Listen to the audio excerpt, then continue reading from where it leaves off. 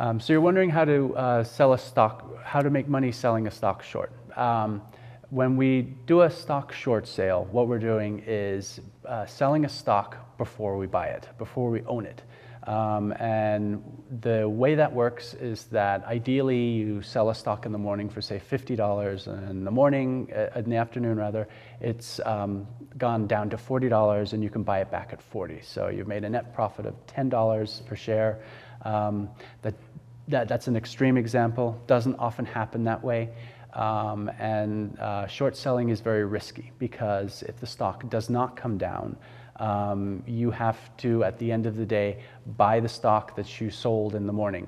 Um, you do need to come up with the money um, and, and, purchase what you sold uh, earlier in the day. Um, so there are risks involved, and um, if you miscalculate or sell the short sell the, the wrong stock at the wrong time, um, there is money to be lost. Um, it's a, a, not an uncommon practice, but it's something that does require a lot of research and a lot of knowledge about um, a the company, uh, where they're going, and also how the market works.